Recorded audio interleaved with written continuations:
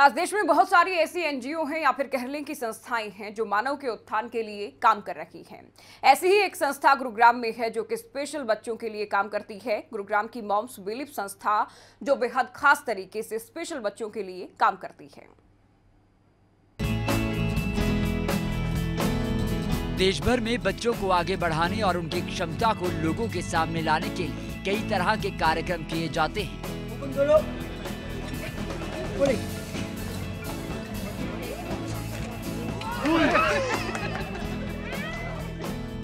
खासतौर से स्पेशल बच्चों को दुनिया के सामने लाने के लिए देश की कई संस्थाएँ काम कर रही हैं। ऐसे ही स्पेशल बच्चों को दुनिया के सामने लाने और उनकी क्षमता को लोगों को दिखाने का काम गुरुग्राम में किया जा रहा है। ऐसी ही एक गुरुग्राम संस्था है, जो स्पेशल बच्चों पर काम कर रही है।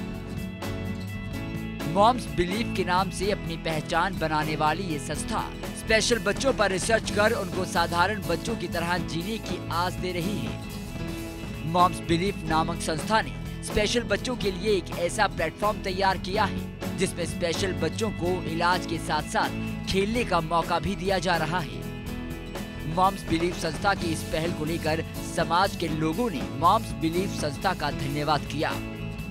इतना ही नहीं मॉम्स बिलीफ संस्था की ओर से किए जा रहे कार्य को लोगों ने खूब सराहा। मॉम्स बिलीफ संस्था की इस पहल के साथ प्राइवेट सेक्टर की कई कंपनियाँ जुड़ी। मॉम्स बिलीव संस्था की ओर से स्पेशल बच्चों के लिए एक ऐसा प्लेटफॉर्म तैयार किया गया है, जहाँ पर पूरे देश के स्पेशल बच्चे एक साथ एक मंच पर नज़र आएँगे।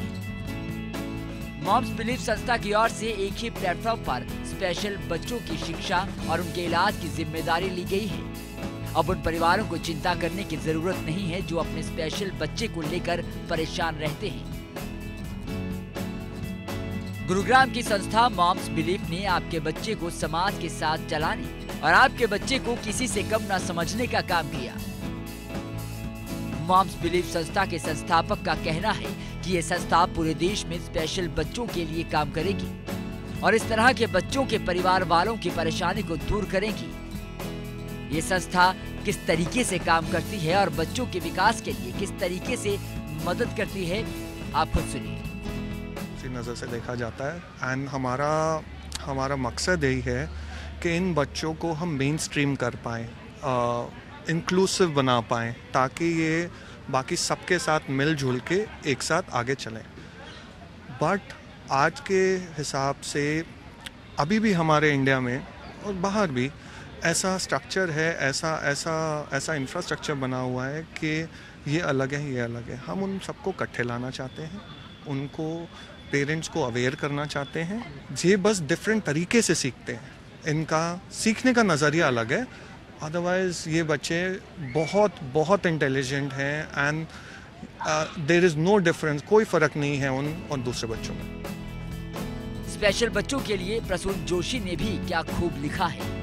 देखो इन्हें। ये हैं ओस की बूंदे, खो ना जाएँ, ये तारे जमी पर। मॉम्स बिलीव संस्था की ओर से स्पेशल बच्चों के लिए किए जा रहे कार्य को सभी अभिभावक भी सराह रहे हैं। स्पेशल बच्चों के अभिभावकों का कहना है कि मॉम्स बिलीव संस्था का कार्य सराहनीय है और इस संस्था को आगे बढ़कर पूरे देश के स्पेशल बच्चों के लिए कार्य करना चाहिए। बहुत ज़रूरत है आजकल ऐसी कंपनी की। हम इनसे मिले थे करीबन डेढ़ साल पहले, पहली बार। तब इनके पास कुल मिला के दस बच्चे थे। इन्होंने डेढ़ साल में दस से आज ये चार सौ से ज़्यादा बच्चों को सपोर्ट कर रहे हैं। तो जो अपने आप में काफ़ी बहुत ज़्यादा प्रोग्रेस है डेढ़ सा, साल डेढ़ साल के अंदर। और ऐसे काम करने वालों की ज़रूरत इसलिए क्योंकि लोग नए तरीके से सोच करके नई टेक्नोलॉजी यूज़ करके नई अप्रोच के साथ जब इस प्रॉब्लम को सॉल्व करते हैं तो उसका जो सोल्यूशन होता है वो बहुत ही सुपीरियर होता है। वो बहुत बेहतर होता है जो नॉर्मल तरीके से किया जाता है।